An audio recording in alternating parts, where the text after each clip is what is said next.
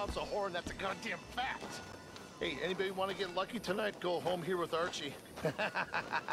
Be quiet, please. Oh, boy. Why don't you shut up? Oh, All right. Who's this, your daddy? My daddy died.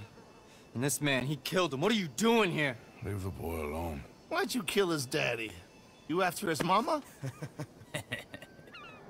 Stop bullying the boy. Get out of my business, mister.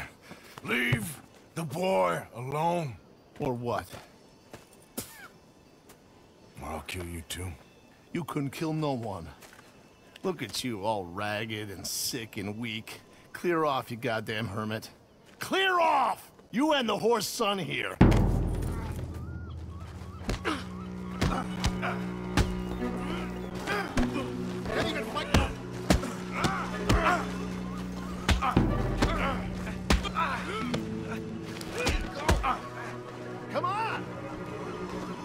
You're gonna die. Take your hands off me! Go on, finish that fool! Who wants him now? Just give him back to me. Get off me. Looking for a free fuck, are you?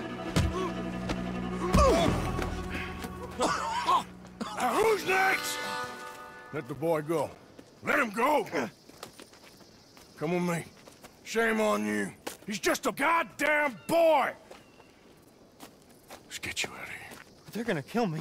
Now I got no job and they're gonna kill me. I've got some money. You and your mama can go someplace nice. Well, Why are you doing this? I don't know.